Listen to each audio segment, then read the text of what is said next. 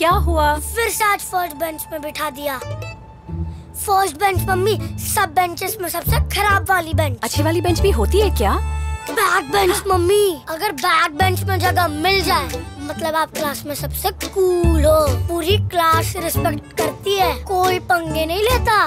पता है mummy girlfriends भी बैक बेंचर्स की बनती है। और लास्ट बेंचर्स सुपर फ़ेमस होते हैं पर फिर से फ़र्स्ट बेंच कैसे होगी मेरी ग्रोथ? इतनी बड़ी प्रॉब्लम है तो फिर तुम स्पेशलिस्ट को क्यों नहीं पूछते हो? स्पेशलिस्ट हाँ? स्पेशलिस्ट मज़ाक कर रहे हो ना?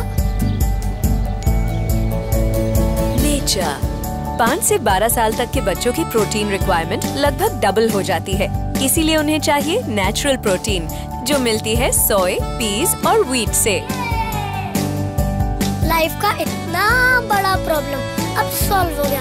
आंटी, आप इतने दिन कहाँ थी?